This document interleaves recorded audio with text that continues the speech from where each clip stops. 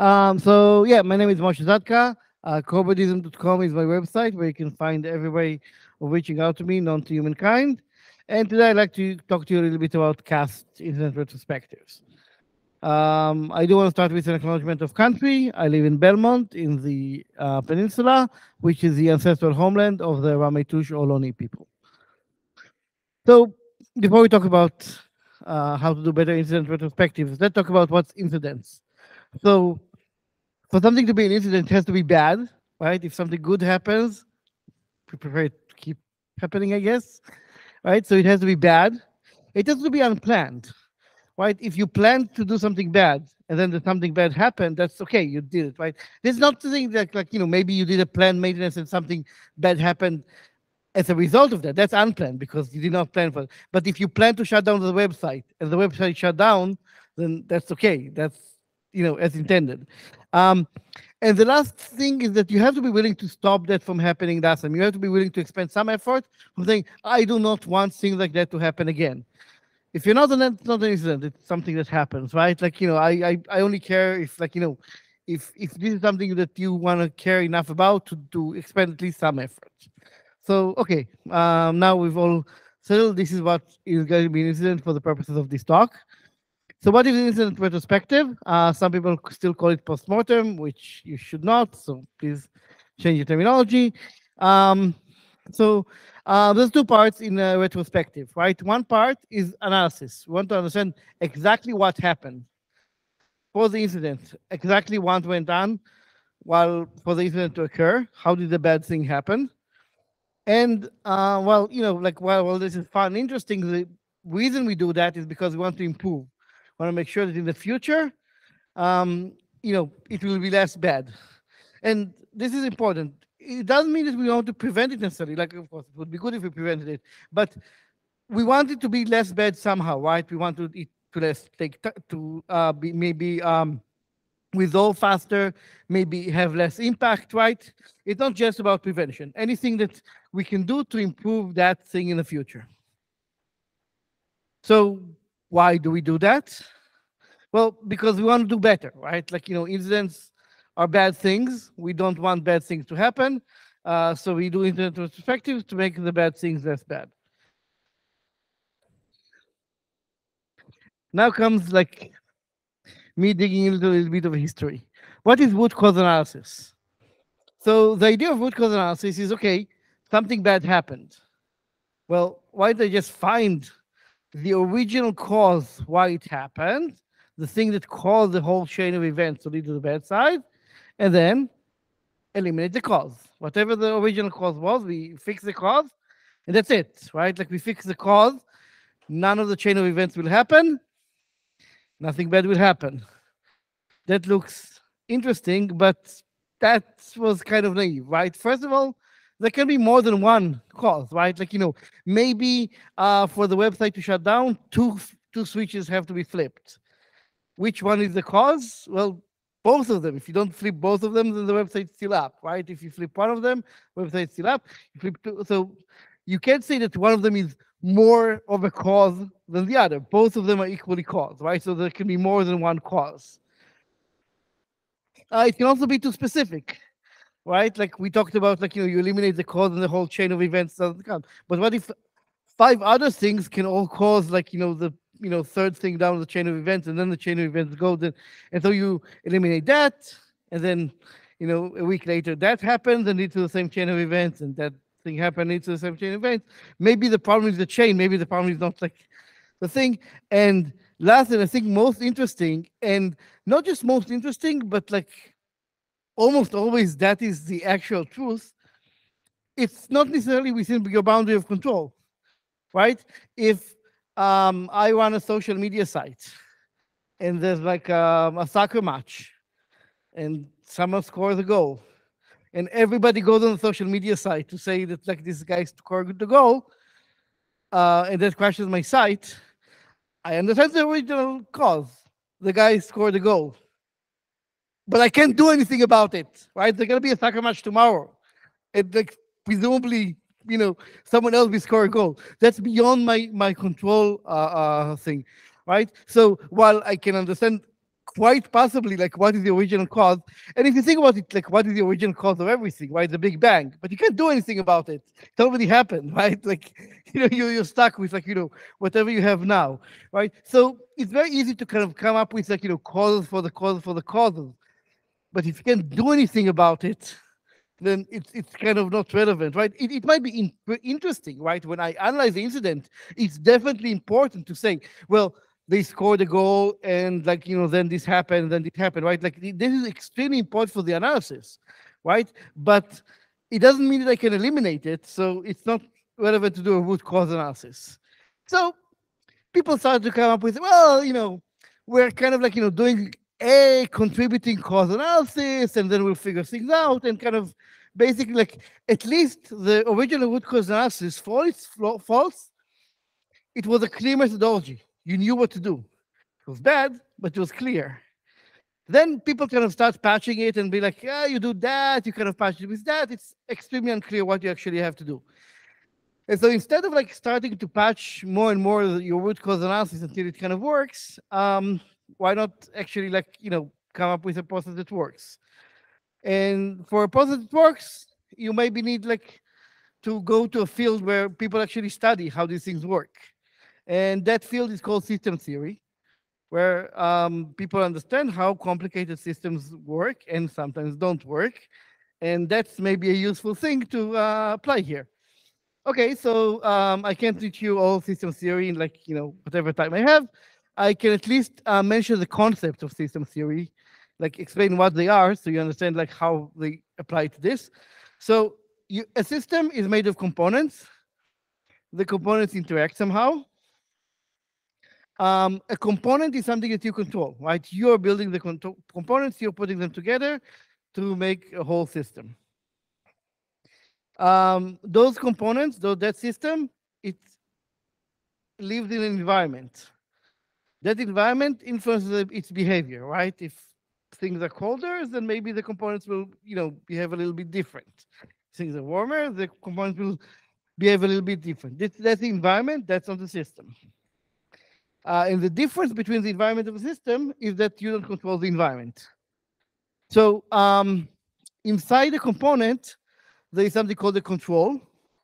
A control is something that takes in input. That input can come from another component or from another control same component from the system, or it can uh, take the input from the environment. And it does something, right? Um, I think maybe if you want like the best metaphor for control that I want all of you to have in your mind whenever I say control, think of a thermostat, right? It's a component, possibly in a bigger system, right? Um, if it's too hot, then it will switch the um, switch the uh, um, uh, electrical circuit on. If it's too cold, it will switch the electrical circuit off, right? So it's the input is the temperature, the output is circuit on or off. Okay, that's like the prototypical example of a control. That's the kind of the image I want all of you to have in your mind whenever I say control, right? It's stuff like that. Uh, now, a system is designed to do something.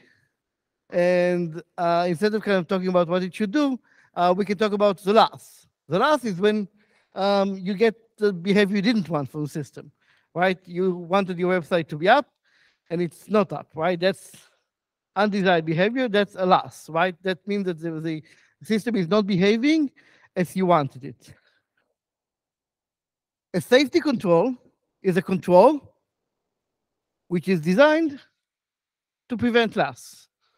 Okay, so safety control is a control, you put it in the system, and its goal is to behave in such a way that will prevent some sort of loss. A hazard right? Um, that's and, and and here you can I, I can you know kind of when I first saw it, I was like, well, it's just cheating, right? The hazard is like what they're calling the root cause, right? Uh, but it's not. Like the hazard is very, very specifically defined.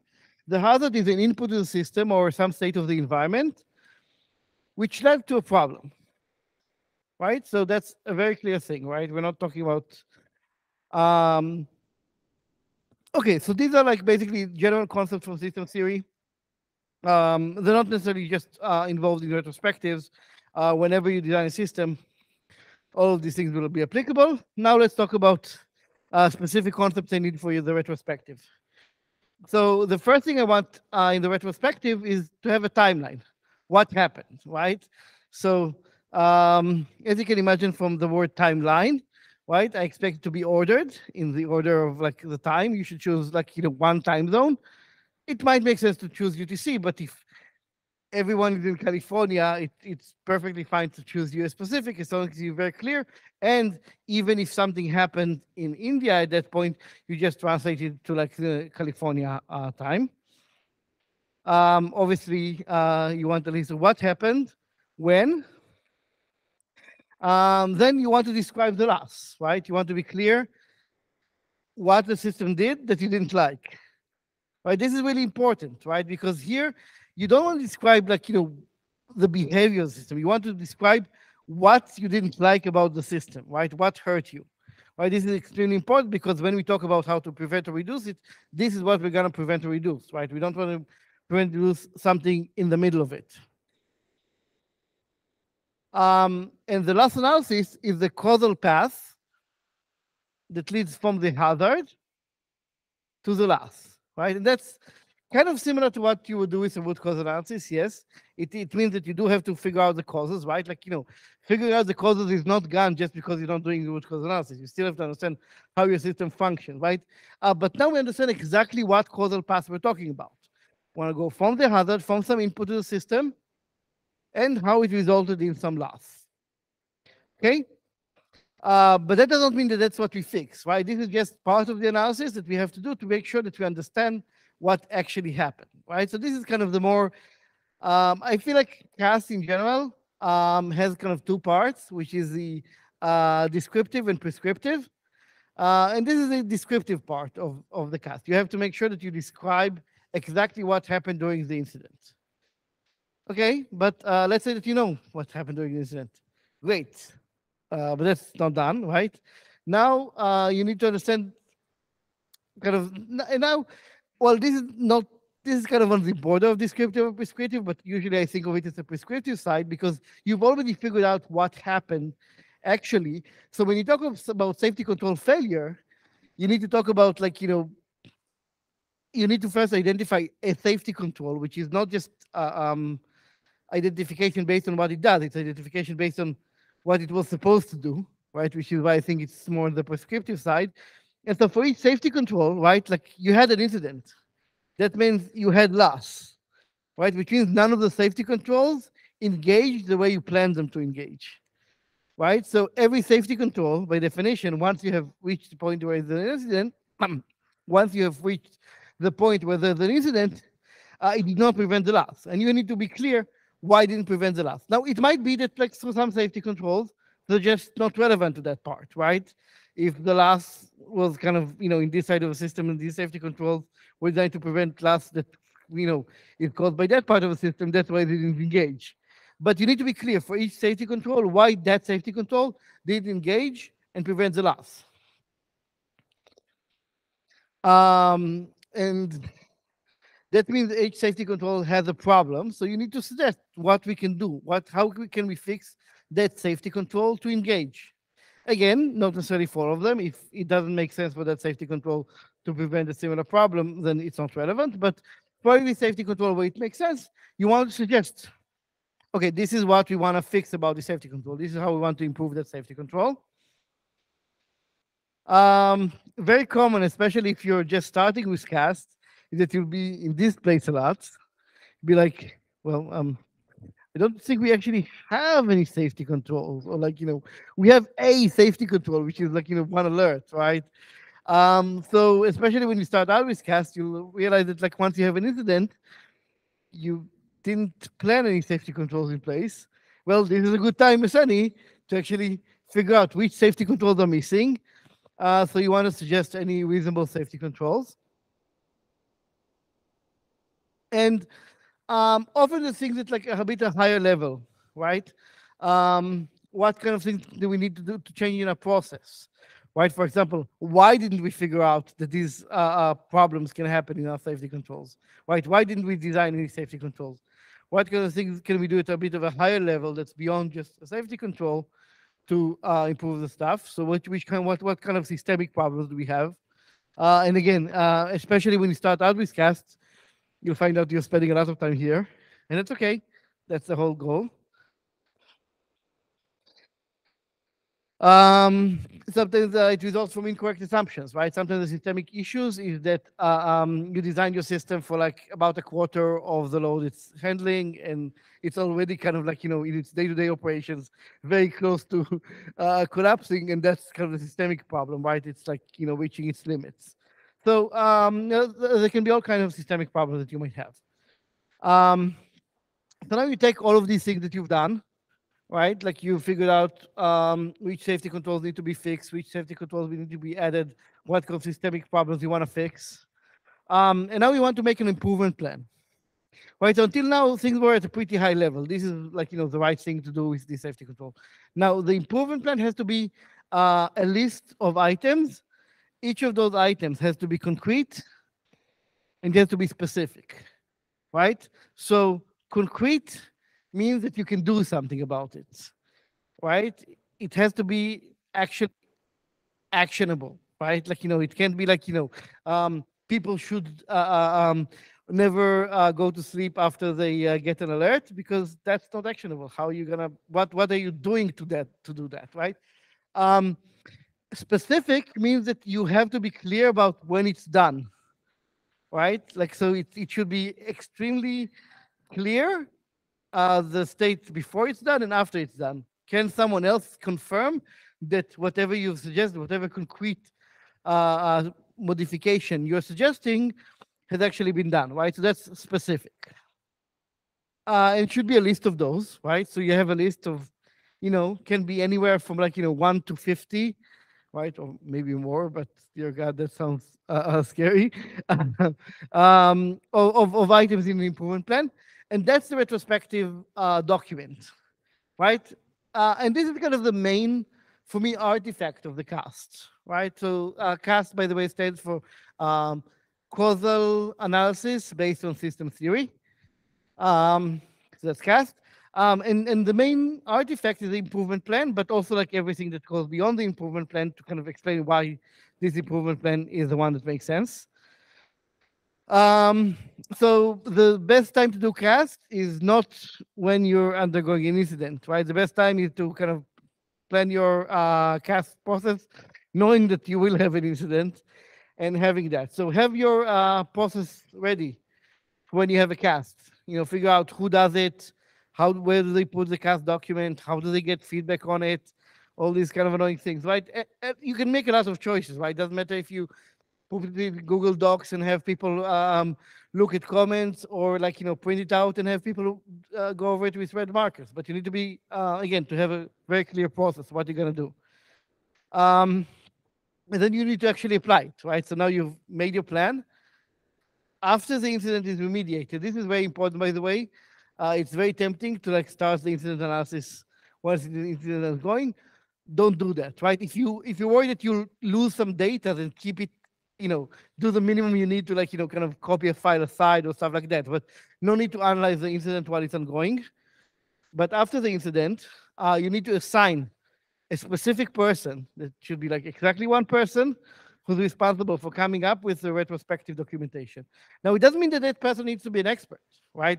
Um, hopefully, they can ask other people, they can interview people, they can ask for feedback uh, even before they write a doc. But they're the person responsible for that. In fact, it's often very good if that person is not an is not an expert. A because they'll have a fresh set of eyes on system, and B because this is one of the best ways to kind of teach newcomers about the system. The best way to understand the system is how it breaks. Um, and then, especially because like you know this was one person, you want to make sure that everybody involved in that system reviews the retrospective doc, right? Uh, gets a chance to say, that's not correct. That first of all, like you know, that's not what happened in the timeline. Or um, even if you do that, uh, that's actually not going to help because of some other things, right? Like have people kind of who you know are using are implementing the system day to day give feedback on that process. And basically, um, once everybody signed off, right? Once everybody agrees that yes, this retrospective document captures the best we can do right? Tra- captures like you know we don't have any um, anything to improve about it. You want to act. You want to actually like follow your improvement plan. Um, and finally, like I think that CAST itself is in some sense also a, a safety control, right? CAST itself is a system designed to reduce loss, right? And uh, because of that, like the way you apply CAST should also be part of your um, of your ongoing stuff, right? If the process is uncomfortable, if it's hard to follow, uh, whether the improvement plan uh, is is done, if too many items in the improvement plan in the improvement plan never get done because it's it's those are bad suggestions. This is something you want to revisit and figure out how you can do better in your next cast analysis. Uh, and um, I think that's it. So I think maybe I have some time for uh, questions. Yeah, yeah, we got a few minutes for all things.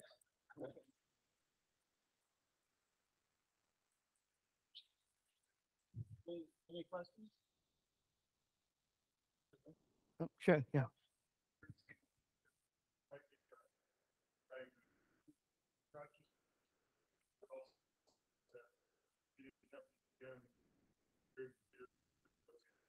Right.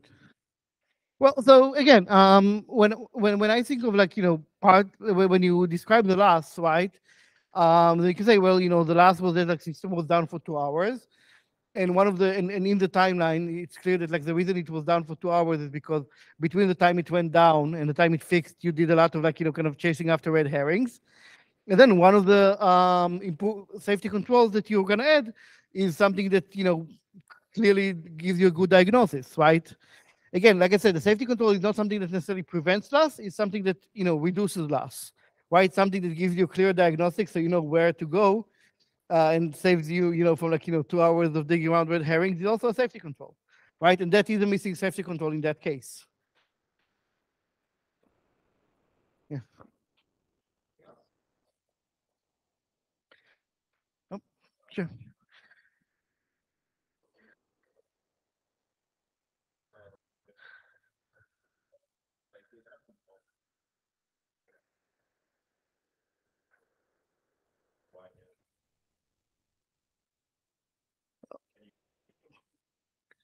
So, um, yeah, sure. Um, so the question was, uh, why can't you just uh, test for all possible inputs? Um, so there's a few answers here, right?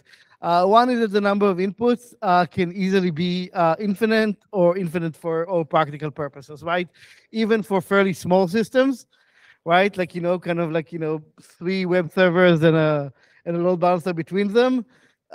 You know, like the combinatorial explosion of all possible HTTP requests that can do stuff is like very quickly uh, goes out of hand, right? Um, but um, one thing that is uh, a little bit like that, um, there's kind of a, a, a cousin, if you will, of cast uh, called Stamp, which I highly recommend uh, looking into, um, which is basically cast without the incident. Uh, so Stamp is a design process that at the point you design a system, you have not had an incident yet, you kind of try to imagine uh, potential losses and what safety controls to add. Uh, the reason I usually start with CAST is that it's easier to convince people uh, to um, respond to incidents before they had incidents.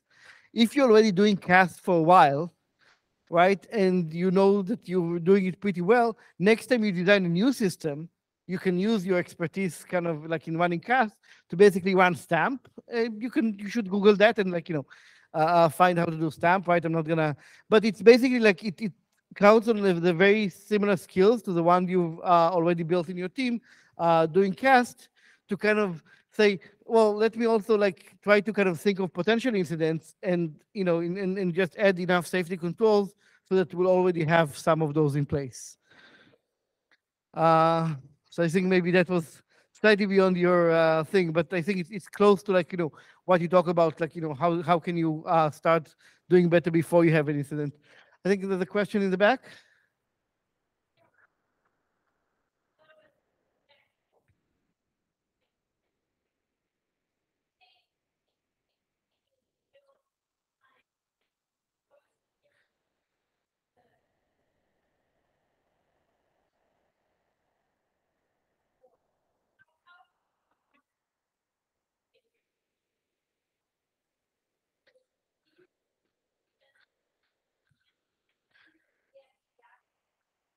Uh,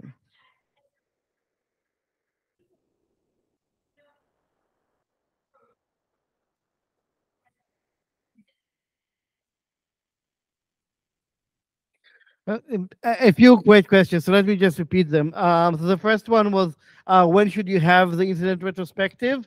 Obviously, it's good to have it uh, soon after, but sometimes you need to gather some data. And also, um, how do you balance writing stuff during the incident? So, like I said, during the incident, uh, you should be focusing on remediating the incident.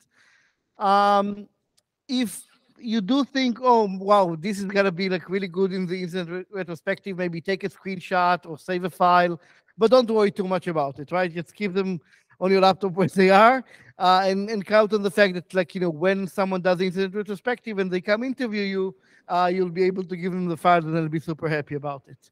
So that's like the second part, uh, which I answered first because I think the more interesting question is the first part that I want to focus on. Uh, when should you do it? And the answer is that usually I recommend uh, assign someone to do it as you know one of the highest priority uh, is the next business day, right? So let you know let people rest, let people go home, relax, right? Uh, God forbid if it was a weekend, let them have the rest of the weekend at least in peace. Um, the next business day, whenever that might be, you need to assign someone to do that, and that should be the highest priority. Now, how long should it take? Well, it should take how long it takes, right? In the sense that, like, you know, uh, you need to make sure you've gathered enough data. You need to make sure that you have an accurate timeline. Until you do that, you don't have a retrospective in hand. Um, that said, um, you do you do need to give some guidance, uh, and you know, again, like you know, you you can kind of argue about like you know exactly the level of detail that people should get to. In general, I say you know you'll always be limited, right? Your timeline will always be approximate. Your your knowledge will always be partial. Your your kind of accompanying accompanying tables will always have missing pieces, right? At the point where you feel like you're like you know, just you know, you did enough investigations, and like doing more investigation is just taking a long time. That's the point you should probably like you know kind of take a pause and say this is probably good enough. Um, often, what I suggest in improvement plans is maybe if like you know a specific thing was unclear part of the improvement plan should be figure that part out right like you know spend and that can be a separate kind of assignment and a separate person that's designed to to, to understand exactly what fails there like you know I, I know that like you know we ran this command it's supposed to create a file and the file wasn't there right and and you know you can say okay that's that's all we know right now we've done enough research. We know that this is what happened. Uh, we're not really sure why. And this is part of the improvement plan. We need better uh, analysis of that part so that to understand uh, exactly what went wrong. Uh, so hopefully that was kind of a bit meandering, but kind of around answering your question. Oh, great. Well, thanks, Moshe.